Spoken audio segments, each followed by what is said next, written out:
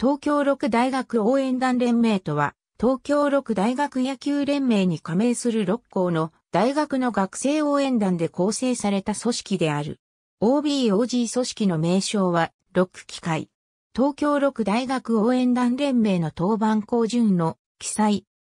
1925年に結成された東京六大学野球は、大東亜戦争の激化による戦時命令により一発中断し、戦後の1946年には復活を遂げたが、いわゆる福音学徒を中心とした学生が戦後の大学における学生の士気を高めるために、戦後も各校命名にあって活動していた応援団、応援部、応援指導部の再建を始めた。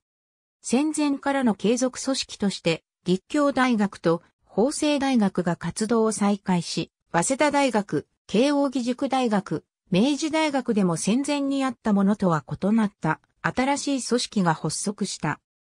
東京大学においても大学史上初めての応援部が1946年に誕生するに至り、各大学相互間の親睦を図るとともに、加盟六大学相互間のリーグ戦での応援活動の円滑化を意図し1947年5月に結成された。以下に登場する学校名は各校の応援団を指す。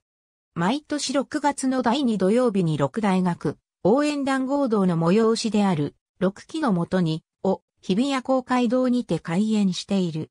応援団所属のブラスバンドによる6大学、合同演奏会を開催したのが始まりで、2013年で60回を数える。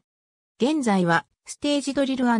チアリーディングステージの第一部と男子リーダー部による演舞をメインに据えた各校校歌、応援歌、拍手の紹介の第2部の2部構成で行っている。2007年9月30日には東京六大学野球連盟結成60周年記念として東京六大学オータムランが開催された。連盟は6機会などと共に協力団体として名を連ねた。明治大学のリーダー部が公式イベントに参加した最後の機会となってしまった。参加者には同日の試合観戦が無料となる特典がついた。過去に全日本学生応援団連盟からの招聘もあったが、現在も加盟はしていない。